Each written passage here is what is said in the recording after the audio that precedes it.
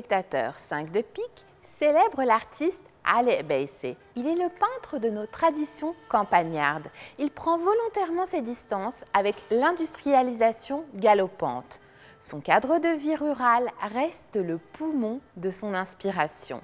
Son œuvre dévoile les liens affectifs étroits qu'il entretient avec la nature. Né en 1907 à Zebdin, charmant hameau du Sud et décédé à Beyrouth en 1991, Ali Beissi est éduqué par son père, Cher Ahmad Beissi, figure notoire du village. Celui-ci décède alors que le jeune Ali est âgé de 8 ans seulement.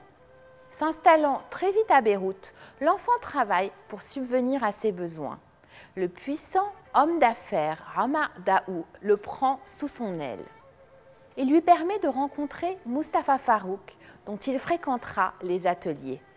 L'apprenti peintre, dont on discerne tôt le talent, poursuit sa formation auprès de Habib Srour. Les deux maîtres lui enseignent l'observation scrupuleuse de l'environnement. Ils lui transmettent des techniques artistiques qui feront de lui un peintre réaliste naïf dont les paysages sont dotés d'un romantisme certain. L'immobilisme de l'environnement de Beissé ne crée pas de frein à la transmission du sentiment d'émerveillement qu'il communique à ses spectateurs.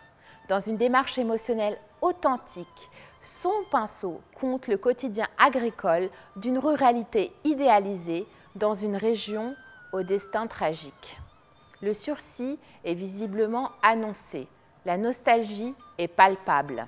Le lyrisme chromatique immortalise troupeaux et bergers dans un cadre idyllique. La peinture de paysage est née en France au XVIe siècle.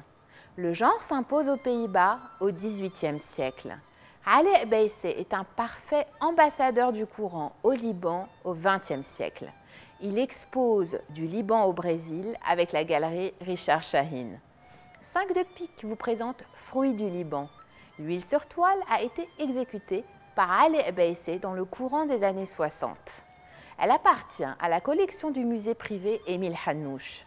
Ce sujet familier que nous avons traité à plusieurs reprises en 5 de pique apparaît dès la période hellénistique. Il se manifeste dans les bas-reliefs, les mosaïques et les peintures trompe-l'œil. Ce tableau s'inscrit donc dans le genre de la nature morte, mouvement revalorisé au XVIIe siècle. Le style s'imposera au milieu du XVIIIe siècle avec l'école hollandaise. La représentation du luxe et des plaisirs souligne une accumulation des richesses. Ceci explique que ce mouvement se nomme aussi parfois vanité, en référence au monde sensuel, Ici, la représentation de vie silencieuse ou inanimée est faite sur un fond classique monochrome. Elle met en lumière, au centre du tableau, les fruits savoureux. Ils sont entourés de feuilles sur leurs rameaux. Le velouté des fruits détonne avec les aspérités rugueuses des figues de Barbarie. La rondeur des grains de raisin équilibre la composition empreinte de réalisme et de raffinement.